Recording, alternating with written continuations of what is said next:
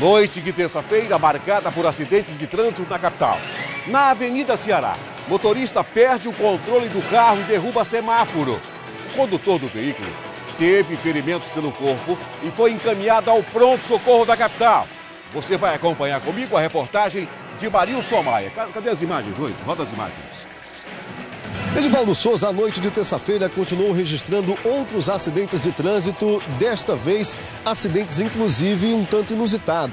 Imagine você que, por volta das nove e meia, um outro acidente foi registrado, desta vez na Avenida Ceará, bem próximo à parte central da cidade, envolvendo este veículo, esta picape, que teria colidido com um dos postes que é, sustenta os semáforos que funcionam como o, a onda verde um dos semáforos que foi completamente arrancado o poste e o semáforo veio ao chão, inclusive com os cabos. Ao que parece, a única vítima foi o próprio condutor da picape, que já foi conduzido pelos eh, socorristas do SAMU ao pronto-socorro com ferimento sem gravidade, segundo as informações. O veículo está atravessado aqui no meio de uma das vias da Avenida Ceará, a via que dá sentido centro ao bairro e você percebe agora todo o trabalho dos policiais da Companhia de Trânsito em resolver o problema. A gente percebe aqui que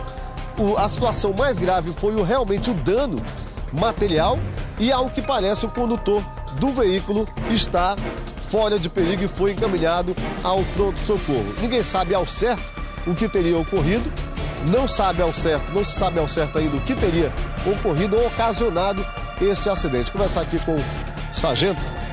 Sargento, já tem informação do que teria acontecido aqui, Zé? Mas segundo informações do, do condutor aí, ele perdeu o controle do veículo e colidiu aí com o semáforo. Trafegava sentido centro, mais. Segundo ele, sim. Perdeu o controle, por quê? Ele, ele disse? Não, não informou não. Mais alguém se envolveu no acidente além dele, Sargento? Não, segundo ele, só ele mesmo. Vinha só no veículo. Os ferimentos dele? Ele feriu o olho. Sem gravidade? Sem gravidade, pequenas escoriações. A situação aqui mais então é o dano material dele. Possível. Da Avenida Ceará, Marilson Maia, para o Gazeta Alerta.